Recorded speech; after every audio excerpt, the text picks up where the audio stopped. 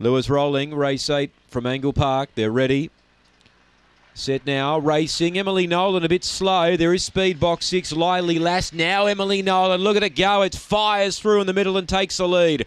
So after beginning sluggishly, it now gets two and a half on Keno Bale. Four lengths to Regis Miss. Uh, fourth Mega Bound. Then came Run Rosie. A gap in the field to Mates Blue. Well out of it, Lily Lass and Dashing Joker. But the leader, Emily Nolan, five in front of Keno Bale.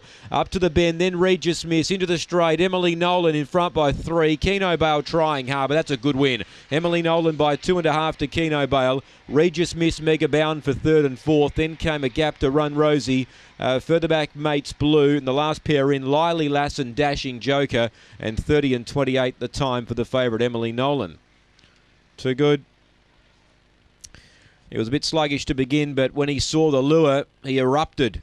He drove through in the middle and raced away. Seven second, Keno Bale. And third, number one, Regis Miss. So five, seven, one, and eight confirmed here. Two and a quarter by three.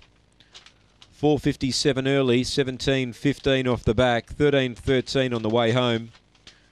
And uh, another winner there for Robin McCullough with Emily Nolan, who's doing good things at the moment. Emily Nolan